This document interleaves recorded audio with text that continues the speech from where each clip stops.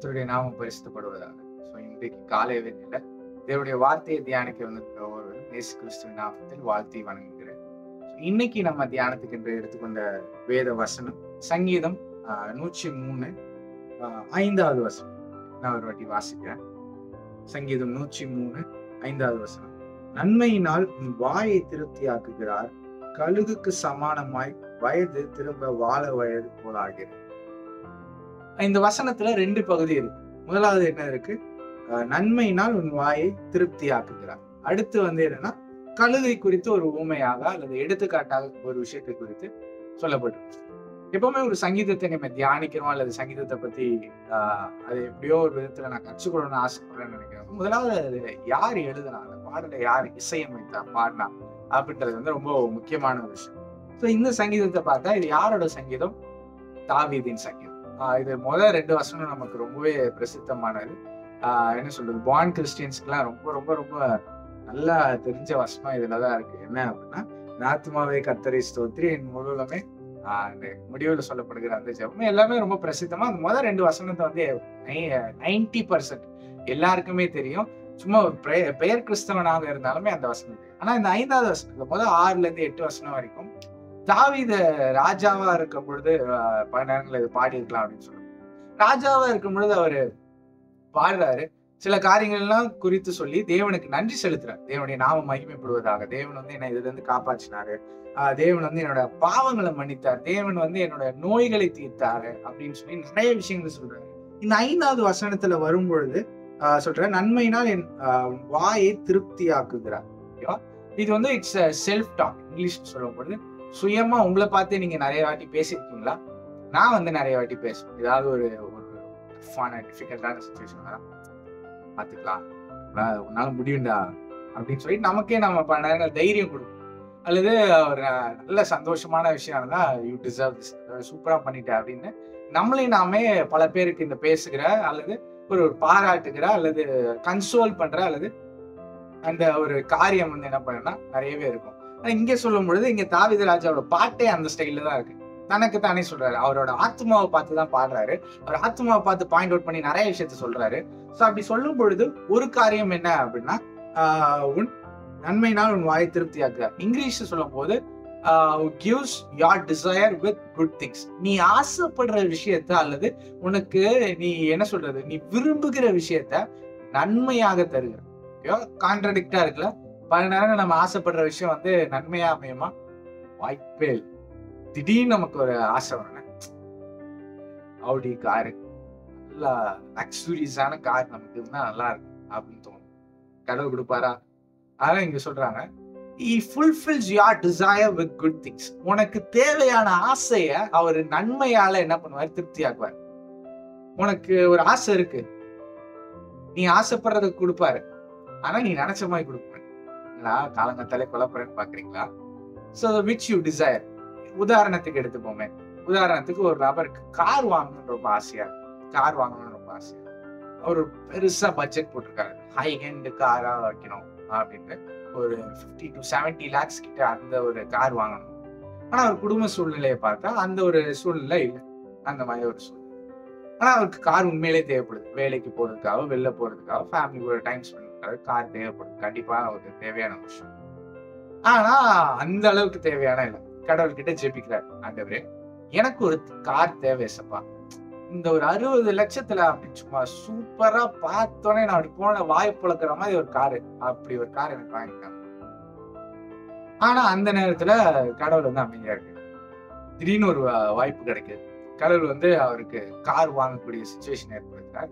But வாங்கக்கூடிய ஒரு சுச்சுவேஷனால அவர்கிட்ட இருந்த ஒரு பத்தோ பன்னெண்டு லட்சத்தையோ வச்சு ஒரு ஒரு பன்னெண்டு லட்சம் அப்படி இப்படின்னு கார்லாம் லோன் வாங்கி அதிகபட்சமாக ஒரு twenty lakhs twenty twenty five lakhs so ஒரு கார் வாங்கிட்டார்.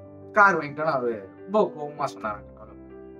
கடவுளே நான் உங்ககிட்ட என்ன கேட்டேன்? ஒரு ஃபிஃப்டி சிக்ஸ்டி செவன்டி லேக் கிட்ட ஒரு ஒரு லக்ஸூரியஸான காரை கேட்டா ஐஎன் மாடல் கேட்டா ஜஸ்ட் ஒரு நார்மலான ஒரு பேசிக்கான ஒரு விஷயத்த கொடுக்குறீங்களே என்ன கடவுளே நீங்க? போங்க எனக்கு உங்க மேல போவோம் நான் ஆசைப்படுற விஷயத்தெல்லாம் தருவேன்னு சொன்னீங்க. ஆசைப்படுற விஷயத்த தர மாட்டீங்களே ஸோ அப்போ ஒரு வரியை வந்து கடவுள் அந்த நபர் ஸோ ஏன்னா இது இங்கிலீஷ்ல வந்த ஒரு வாழ்க்கையில ஒரு நபருக்கு நடந்த கதை.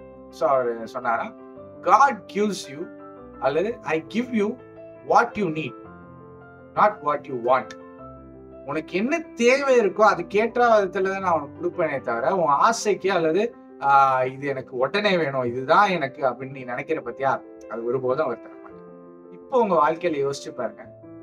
கடவுள் எந்தெந்த காரியத்தை நீங்க ஆசைப்பட்டத அவர் வேத விதத்துல உங்களுக்கு கொடுத்திருக்காரு.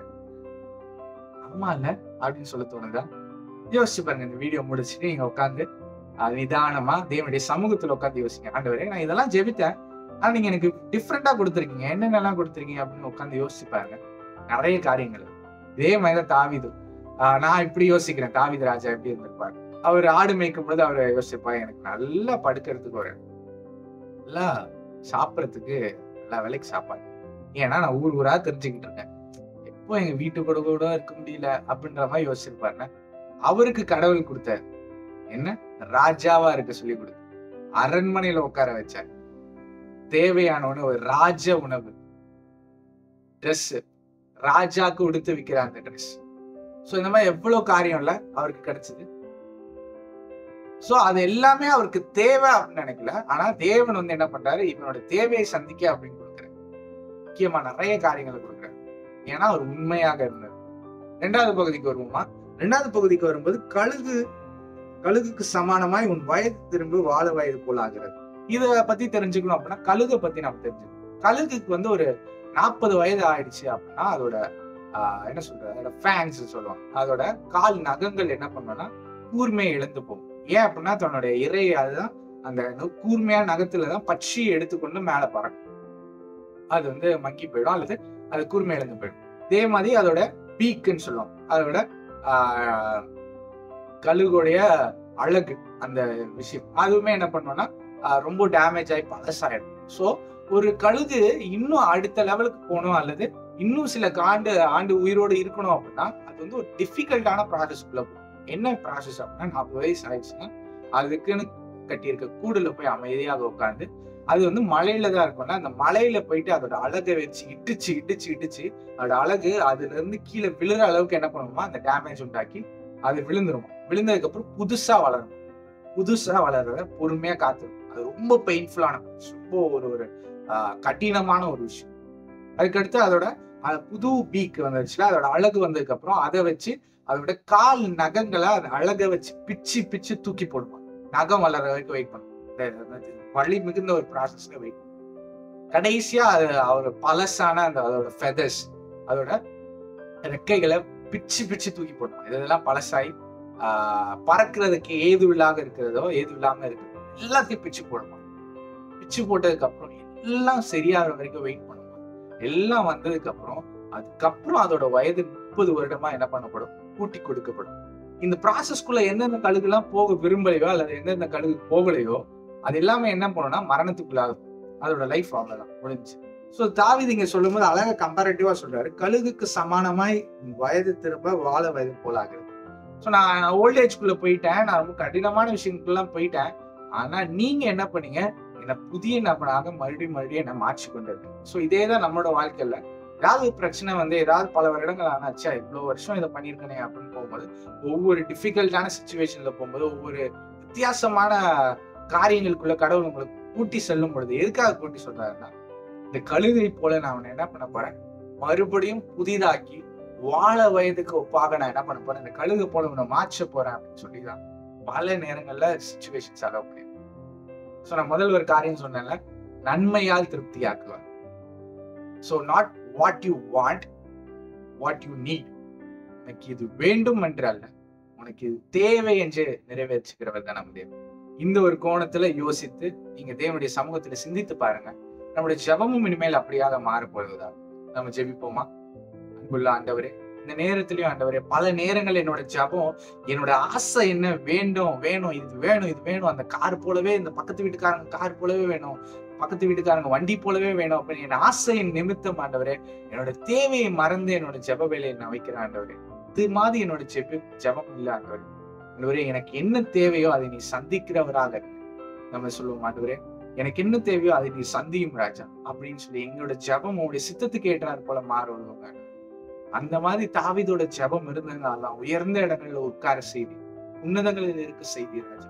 அது போல எங்களை மாட்டுங்க அது மட்டும் இல்லாம அந்த கழுகு கடினமான ஒரு ப்ராசஸ்க்குள்ள போனதுக்கு அப்புறம் தான் அது இளமையில் இருந்தது போல மறுபடியும் ஒரு மாறும் மாற்றம் அதே போல இந்த நேரத்தில் நாங்க ஏதாவது உபத்திரவத்துக்குள்ள போயிருந்தோம்னா இதுக்கு அடுத்து வர சேஞ்சஸ் ஸோ நல்ல ஒரு ஸ்ட்ரென்த்தனா வாழ வயதுல இருந்தது போல எங்களை எங்களுக்கு அந்த பலத்தை தாரு ஒரு மீட்பை தாங்க நேரத்துல எங்களுக்கு முற்றிலுமாய் உங்க கரங்கள் ஒப்பு கொடுக்கிறோம் நீங்க வழி நடத்துங்க நீ எங்களோட அசைவாட இயேசுவின் நாமத்தில் ஜெபிக்கிறோம்.